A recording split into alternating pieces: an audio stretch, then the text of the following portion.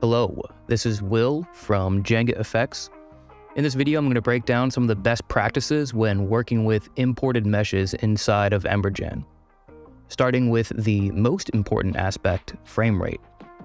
You can see that my animation's original FPS is 30, and when I enable this override FPS setting, the import node duration on the timeline matches the frame count that you see in the playback tab. That's because Embergen naturally runs at 60 hertz or 60 frames per second. And so Embergen is going to interpret your mesh with the original FPS, 30 frames per second.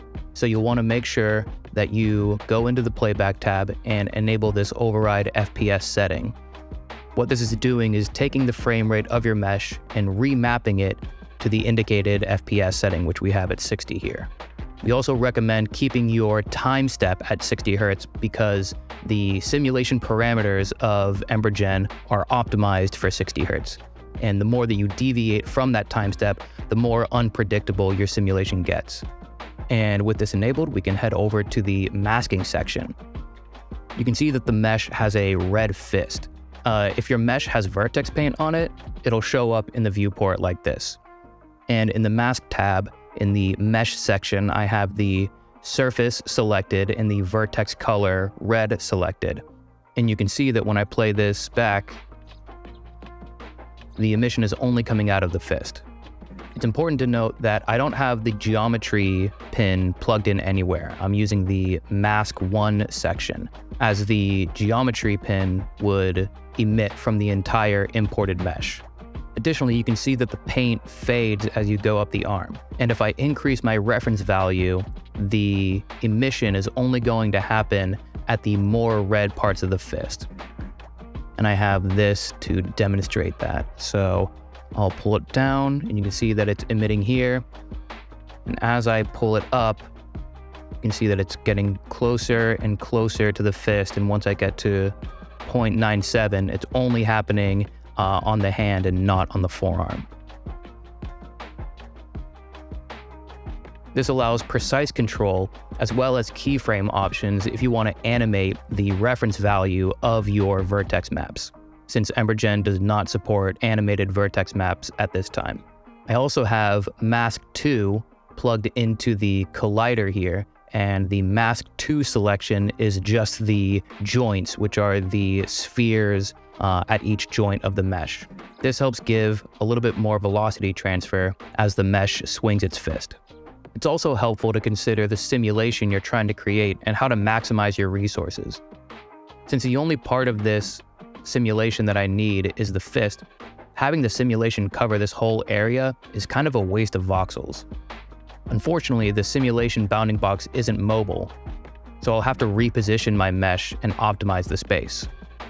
So what I'm gonna do is take my mesh and drag it down, and in my simulation node, go to the simulation size, and try to reposition this to maximize the number of voxels that are active in the simulation. And you can see that I also have a primitive here that is matching the movement of the hand.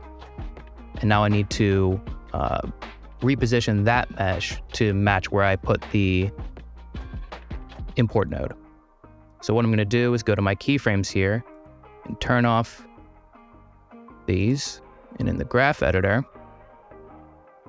turn off these, and you can see when I select all of the uh, keyframes that unfortunately I can drag them everywhere.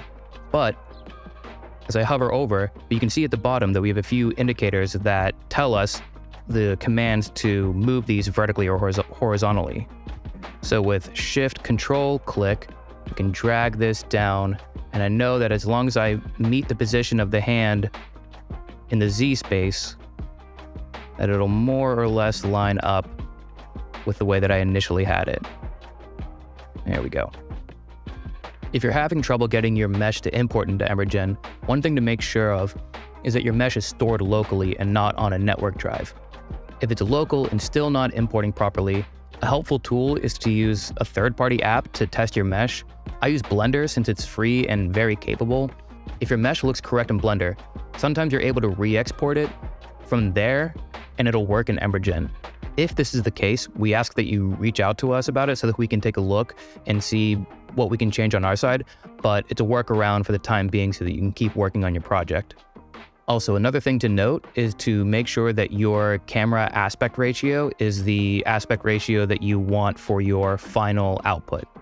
The render size is ultimately dictated by the render node, but the camera size needs to match that ratio. And that's it. Hopefully this addresses many of the issues that you could face early on. And please let us know what else you need help with in the comments.